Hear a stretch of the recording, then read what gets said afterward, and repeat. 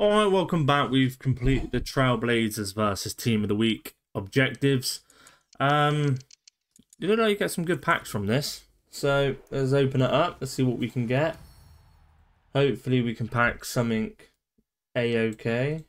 Um, would be nice. Let's just move that a minute. Right, little man. Right. 75 plus is first. Sorry if you hear my little nipper cry. He's just woke up. 84s, we had a Grealish there, but we've already had him, and I know he's untradeable. Um, so we're opening the packs. Yeah, yeah, yeah. Right. so we're open left to right because it seems to be left the worst, right the best. Uh, if it's not a walkout, I'll skip. Obviously, if it's no promo, I'll skip as well. Uh, I don't want to do that. I can store him, can't I? And literally, I didn't. I mean, I've just been doing evos for this, right? It's like ten games. Um, you gotta play ten, yeah. I've just kind of been doing evos, to be honest with you. Uh, yeah. And if we've been getting battered, I've just been putting the controller down.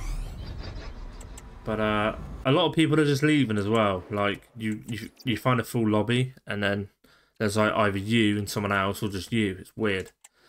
83 times two, kind of. I mean, I want at least a walkout. Yeah, I don't know if we're getting it there. Quite bad, really. I might go into the RTK. Is it the RTTK SBC? No walkout here. Going to be a left back. Is that... Okay. 284s, not ideal.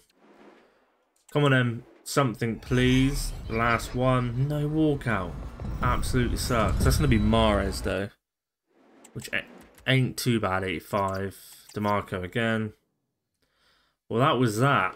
I don't think there's anything else for me to open. Uh, I've got a lot of investments going on. If you boys kind of want to see that, I don't. I'm not really on the game anymore, but I've got a ton of investments. Um, I think Openda and I think Kante will do well out of packs, so I picked a few of them up. But um, yeah. Until next one, boys. Peace.